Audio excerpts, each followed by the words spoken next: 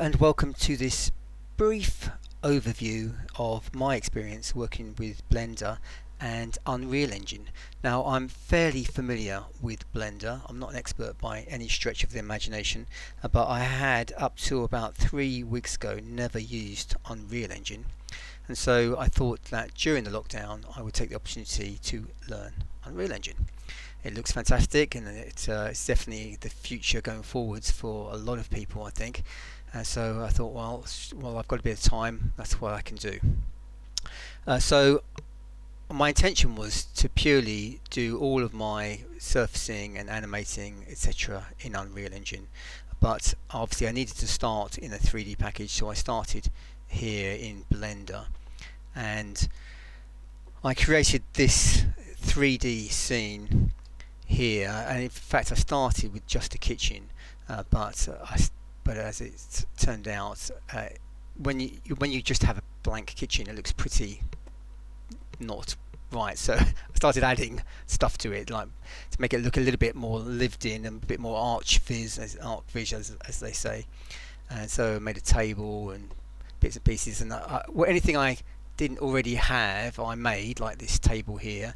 Uh, I sourced things like the chairs, the fruit bowl, uh, the the uh, furniture in here, the chair, the table, the uh, sofa, uh, made a few things like the magazine rack and uh, pictures, TV, um, hall table here and uh, sourced the light, made pictures. I made the easy things basically and sourced the things which would take me too long to make and textured it using all free textures, everything's free from the internet so uh, the idea is that I'm going to include this particular Blender scene in the uh, description in the link so you can download it and um, have a mess around yourself. So I was I was actually quite pleasantly surprised how it how good it looked. It's not perfect by any stretch of the imagination. Now that's half to do with my not possibly getting the best out of Blender and certain things like uh, shadows not working that well. I, I didn't want to use the contact shadows uh, because they tend to be a bit shimmery and jittery, as you can see now. Uh, but without them, they things just look like they're floating too much. So I struggled there, and as you saw from the animation, the uh, there were some certain areas that didn't work quite so well. Screen space reflections uh, were another issue, and they always are, as everyone knows. Uh, they work up to a point quite well, uh, but uh, they they obviously stop working when the bit that you want to reflect is no longer in the screen. And so, as you saw uh, from the video, and I'll play it again in a moment, uh, these issues still are here. Now, those issues, actually, funny enough, or some of them, the screen space reflections especially, is that also apparent in Unreal, as you'll see in a moment but on the whole I was quite pleased with the look. I used the irradiance volume to bake the light, the global illumination as it were and it did take quite a while. I, I probably used way too many. I think I, let me just have a look actually. I know I used way too many uh, but I kind of thought well I can just leave it leave it baking as it were. Where are we? Sky I've got them here. So if I do the kitchen for example and just pop it on here. You'll see I've got hundreds. Okay how many have I got? 16 by 16 by 14 and that's just the kitchen. And so the lounge I did 16 by 15 by 14 uh, and so it's it's basically um, you can you can kind of get an idea of how how many there I used and so it took about two and a half hours to bake. I probably didn't need anything like as many as that but there you go so I did it. But I was quite pleased with this, with the actual look so then I made nine camera mo movements. Let's just pick one and not sure this is the active camera. And so, for example, this would be the first move. You can see what's going on here with my shadows. I've definitely have some problems. Now obviously I'm rendering it back at screen resolution but I rendered each one out and nine scenes approximately 100 to 200 actually in fact one of them is 300 frames. The whole lot took me about six hours give or take half an hour or so. Uh, so it wasn't bad but it it's um, it still took me you know a fair while to do. It was, it was by no means real time let's put it that way. So before I move on to Unreal Engine. Uh, let's just have a quick look at the Blender version and then we'll come back to the Unreal part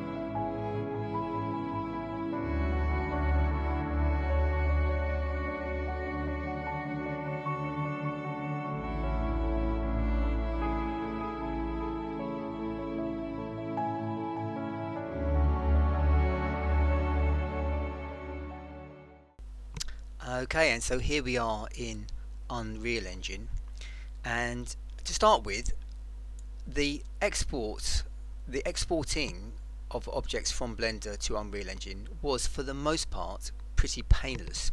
I just exported via the FBX option, imported into Unreal Engine. In fact, I just dragged and dropped into the library here, and for the most part, they came in pretty well. Obviously, they didn't come in fully surfaced with materials and textures and for the most part I had to redo all of those. Uh, but that uh, the, they're quite simple materials and textures anyway. You know, most of them are just textures and uh, rough, roughness and um, roughness specularity metallic if I used them. And so it was quite straightforward setting them all up. But uh, there were a few uh, problems and they mostly had to do with the UVs the what I what I um, thought was going to be fine for Blender in terms of UV unwrapping in Unreal you can't have even the slightest bit of an overlap uh, so you've got to really check those uh, so I think I had about I don't know out of maybe 100 models I probably had six that I had to go back and redo and uh, so that the UV maps would work properly for the light mass bake. Now the light mass, ba mask bake is a little bit like the irradiance mass bake. It bakes the whole of the lighting if you're using stationary lights as it were I won't go into too much detail but it bakes the lighting into the UV maps on each object. And so uh, the software itself Unreal Engine actually creates its own UVs for every single object you bring in. And I spent ages making the UV maps in Blender uh, only to find that actually for the most part 95% of the time the actual UV maps that Unreal automatically generated for the light mask bakes were better than mine. Uh, so uh, there was a lesson that I learned. Uh, there are still a few issues as well with the scene and um, my graphics card doesn't allow for ray tracing unfortunately uh, which I hoped it would because it is a it is a Titan X, but apparently it's, it's the one before the typically, you know, I bought the version before the, the, version where they actually allowed for ray tracing, but there you go. But it does have the option to put in reflection, what do they call them? Uh, spherical reflection spheres, very much like Blender, or Blender, should I say, is probably very much like Unreal. And you can have planar reflections as well, although they do cost more in terms of time to use and cost in terms of um, speed of use but I found for this particular scene which is very small it didn't make any difference at all. The screen space reflections are always a pain and uh, I'll give, give you an example if you don't know what the problem with them is. Uh, let's have a look at this reflection of the toaster here. If I get closer here uh, it's reflecting the top of the toaster. You can just see it there. But as soon as I were to lose the top of the toaster there I lose the reflection of the top of the toaster. So whilst I can't see it on my screen, I'm no longer going to have a screen space reflection. and so that's exactly the same issue as we would find in Blender. But it does allow you, if I just hide uh, unhide everything to have these spherical reflection spheres and you can dot them all around the place and they don't seem to slow down anything at all you, you bake them as well as the light maps and uh, so on the whole it works quite well. But as you can probably see um, I love the actual um, movement of the mouse. You can just go forwards and backwards so easily. I'd like to have this in Blender actually if anyone's listening. And then maybe they can show me a way of actually act activating this. Uh, it's not the same as the walk option in Blender just so you know. It seems it just seems really good. Anyway it's very quick. And when I did exactly the same scenes I rendered the nine camera I, I set my nine cameras you can see them dotted around here exactly the same movements as the exactly I say as close as possible to the blender movements rendered them out and whilst my blender scene took six or, so hours to render those nine camera moves. This one took about four minutes.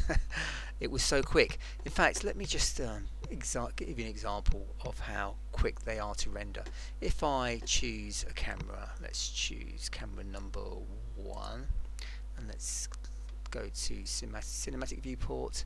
Make sure I'm on camera number one. Okay so I need to actually activate the sequencer which is basically like a non-linear editing um, option. So edit cam.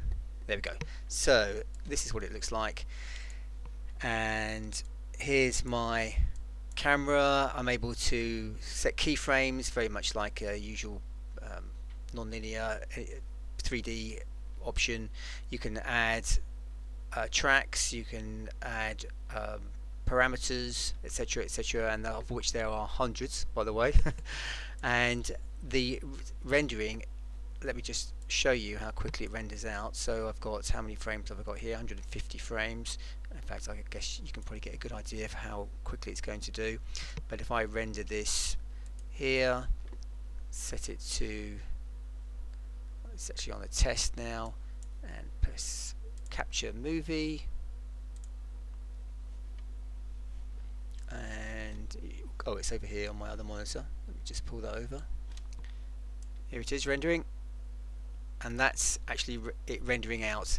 So it's pretty much real time. So for all nine scenes it took me about four minutes if that to render them out. So what I love about this of course is you can render stuff out and uh, you wouldn't ever have that oh damn I've missed something feeling when you've just finished a I don't know a three hour render or something like that. So it's definitely definitely a worthwhile endeavor learning this piece of software. Uh, it is absolutely just phenomenal and I, and I love it to pieces. And so I'm definitely going to um, spend a lot more time getting to know this software and I thoroughly recommend anyone who's uh, into 3D in general creating scenes uh, to do the same. It's free well, up to a point it's free. It's definitely going to be free for the most of my life I, th I think or never say never. Uh, but you have to earn a lot of money for it to not be free for an individual and so there's no reason apart from the fact that it is a a mammoth piece of software and there's a lot to it there's real, really no reason why you shouldn't use it. And of course you've got Blender which is free Unreal that's free. Uh, what more could you want? Uh, today is a good day to be alive. So with having said that I'll just play the final edit I did with Unreal. That will be it. So thanks for listening to me and goodbye